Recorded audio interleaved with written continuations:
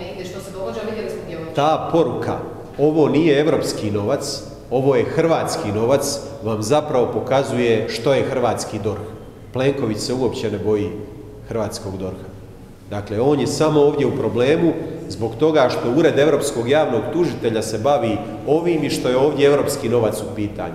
Dakle, jučer sam jasno rekao, DORH je Plenkovićeva ispostava, DORH može uzeti nekog HDZ-ovca na zub kada postoje čvrsti dokazi, ali uski krug plenkista, dakle Marko Milić, Katičić i ostali, evo imate poruke gdje oni namještaju poslove, ništa im se nije dogodilo, nitko ih nije pozvao na obavijesni razgovor. Dakle, uski Plenkovićev krug ne smije niko dirati. I zato on može govoriti ovo je hrvatski novac, ovo, ovo nije europski novac jer se on ne boji hrvatskog DORH-a, on se boji jedino Ureda europskog javnog tužitelja.